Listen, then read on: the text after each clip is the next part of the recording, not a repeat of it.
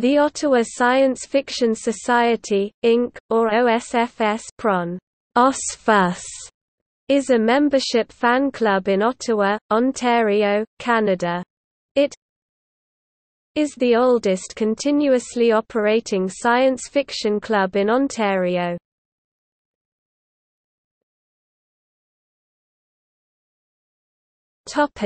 Current activities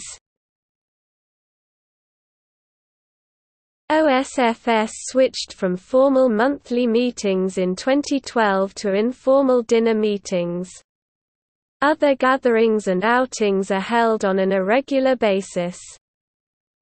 It publishes an amateur magazine called the OSFS Statement.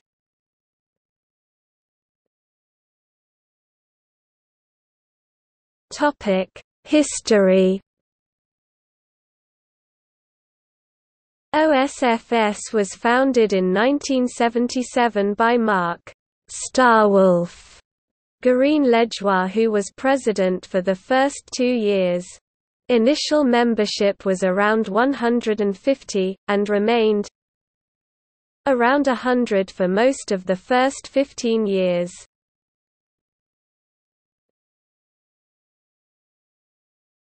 Stardock Stardock, edited by Charles R. Saunders was a science fiction fanzine that published fiction and articles by OSFS members, as well as local writers and artists. Some notable contributors besides Saunders were Galad Elflandsson and Charles de Lint all of whom went on to be professionally published writers.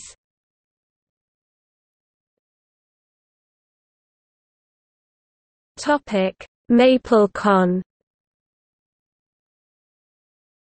MapleCon was Ottawa's first full-fledged science fiction convention, initially held at the Skyline Hotel blocks from Ottawa's Parliament Hill in October 1978.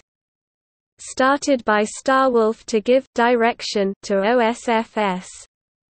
It was co-chaired by Jocelyn Bink Tate and her husband Frank. In its second year, it merged with an event run by the local comics club, called the International Comic Collectors Club. Cubed, and Comics joined the mix. This led to a rapid expansion of the convention.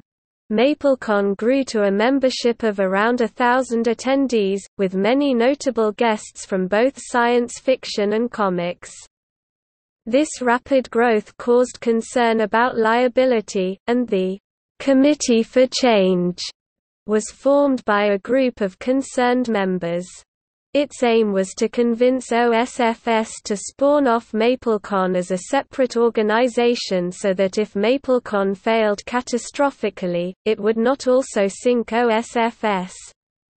This also freed MapleCon from OSFS's control, which had a mixed outcome. An oversight corporation was formed called Ottawa Fandom Inc. aka OFI, and ownership of MapleCon was sold to OFI for $1. Eventually, without oversight by OSFS, the comics aspect overwhelmed the science fiction and fantasy written word aspect, and that spawned conventions to meet the wants and needs of the literary fans. First was Pinnacon and later, CanCon. Another ramification of MapleCon's rapid growth was that it moved to Carleton University. Although this dramatically lowered the cost of the accommodations, it also dramatically lowered the quality of the accommodations. This became a frequent complaint, and is one of the reasons cited as why MapleCon lost attendance. The last MapleCon was number 13, held in 1992.